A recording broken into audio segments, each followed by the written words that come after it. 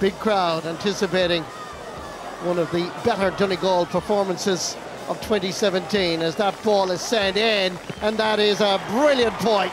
Jason McGee.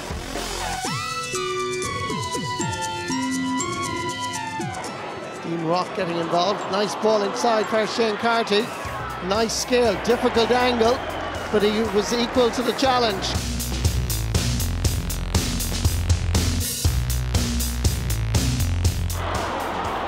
Sent in again.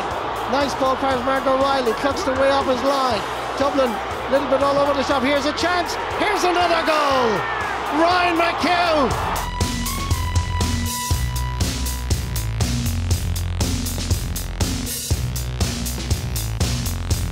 This is a great move. This is a great chance. Great goal, Dublin.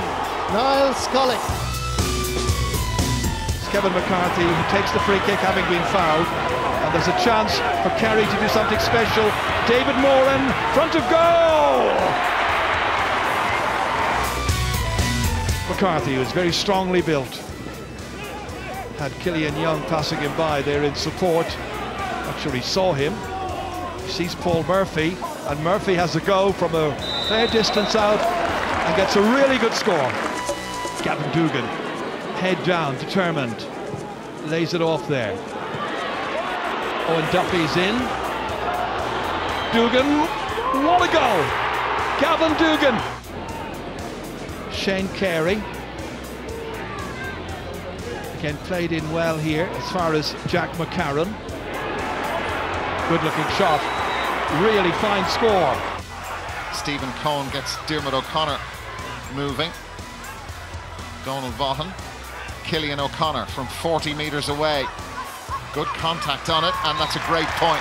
That's the score of the night so far from Cillian O'Connor, and his eye is very definitely in. Enda Smith. Roscommon could do with a couple of points before half-time. We've five minutes to the break, and there is the first of them. That's a beauty from Ciarán Murtagh. Well, it's close to 10 minutes since Mayo last scored. Maybe that'll change right now. Here's Lee Keegan. Keegan, that is gorgeous. Well, it's his trademark.